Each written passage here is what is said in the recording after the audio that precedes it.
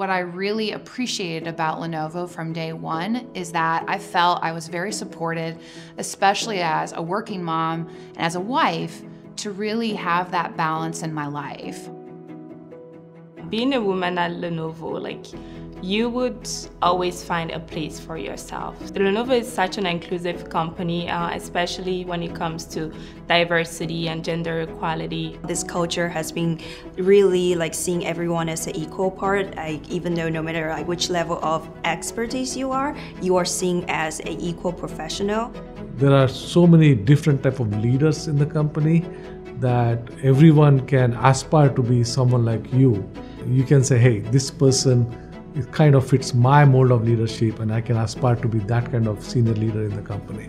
A big piece of this starts with our leadership, where we've created an organization that employees feel empowered to speak up and speak out and bring fresh ideas to the table, new perspectives. You know, a lot of times you can come in as someone that's that's new or early in their career and really feel like, do my opinions matter in this space? And from the start, um, I've definitely been very well respected and even invited to the table for a lot of different conversations.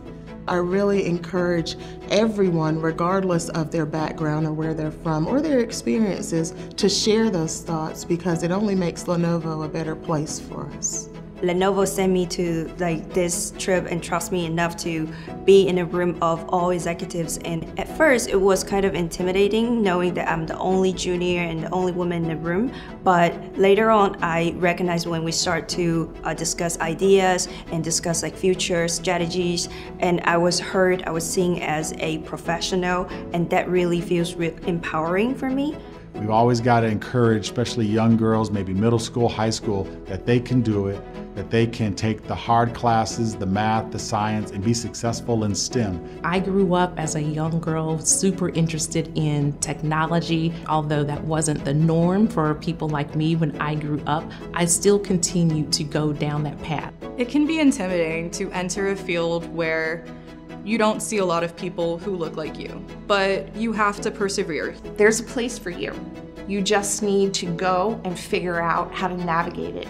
Stay true to yourself, stay true to what you believe in, uh, to your values, and make sure that you carry that into uh, a workplace that supports those values. You're going to hear voices of doubt, you know, no matter how high you climb on the ladder, but you can still do it. So believe in yourself and be your true self.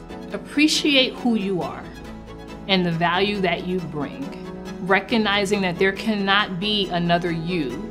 And if you stay strong and partner with others who are doing great things, just imagine the great things that you can accomplish together.